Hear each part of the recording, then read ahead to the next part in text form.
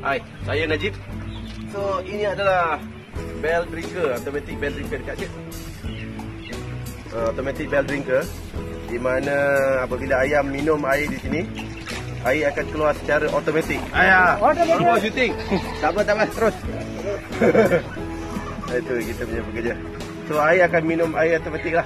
Tak perlu nak bagi secara manual macam yang tadi kita tengok. So, ini yang dah siap pasang. So, saya akan tunjukkan pemasangan dia. Come closer.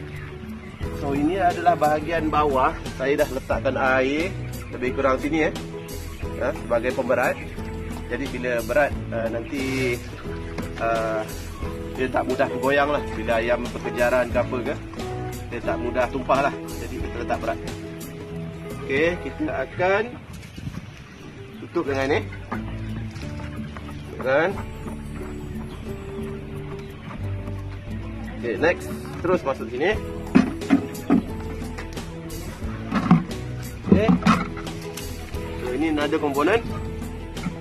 Kita akan push. Okay, please. Closer. Okay. Dan ini kita masukkan supaya dia tergantung. Yeah. Okay, kemudian kita boleh ketatkan eh. Ini bahagian yang putih ni. Kita boleh ketatkan kan. So kita boleh adjust lah yang ni ke atas dan ke bawah. Right. So air akan masuk daripada sini. Kita ada sediakan getah ni as a complete set. So panjang eh. Satu bearing ni kita bagi 8 kaki. So contoh one end cucuk di sini. Okay. Kita akan cucuk di sini. Okay, cucuk sampai habis lah eh, sampai habis. Kemudian kita akan potong 8 kaki ya. Kita gantung ke atas. So this is the other end.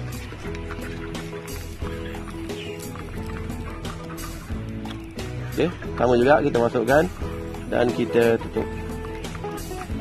Kemudian ini akan kita clamp pada pipe. Ha, PVC pipe atau poly pipe lah. Kita akan tarik panjang-panjang reban dan kita akan clamp di atas. Ha? So, yang ni adalah tempat untuk menggantung. Tali pun kita ada sediakan. Dalam complete package. Tadi, tapi kita sediakan. Ya? Ada, ada. Alright, okay. So, itu saja. So, satu bearing ni boleh guna untuk 50 ke 100 lah.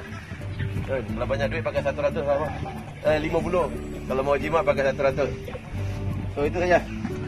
All right. Thank you.